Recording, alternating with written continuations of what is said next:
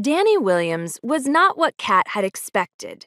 She didn't know her very well, of course, but in class, she'd always seemed to be a hardworking student, genuinely interested in science. Turned out she was also kind of a complainer. They were only riding their bikes a little less than a mile from Cat's house, and Dani wasn't even carrying the heaviest equipment. Some people just didn't have the drive to go the extra mile for research. But Cat wasn't about to let that get her down. If her calculations were correct, and they almost always were, she had quite the surprise in store for Dani.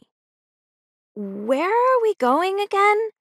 Dani asked for the third time. Cat sighed and brushed away the hair that kept slipping out from under her knit cap. The power substation, it's just up this hill.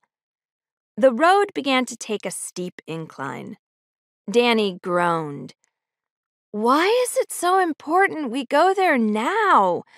My parents won't be thrilled that I'm out here alone, now that it's getting dark. She eyed the woods on either side of the road.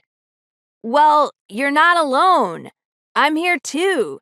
And I know this path like the back of my hand. It's a safe neighborhood. My mom can vouch for that. Cat smiled. As for why, you'll see. Five minutes after we get there, give or take, we'll have just enough time to set up the equipment. They rode up the hill, Cat's adrenaline pumping. She was beyond excited to be participating in the McMurray Youth Science Competition for the first time. It was only open to grades 7 through 12, and each school in the state could send two projects per grade level. The contest was sponsored by the McMurray Corporation, which did pharmaceutical research, and the judges were always leaders in their various scientific fields. No seventh grade team had ever won the grades 7 to 9 category. Cat planned to be the first.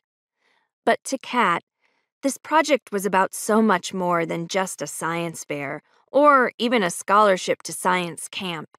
She knew aliens existed, and she wanted to prove it.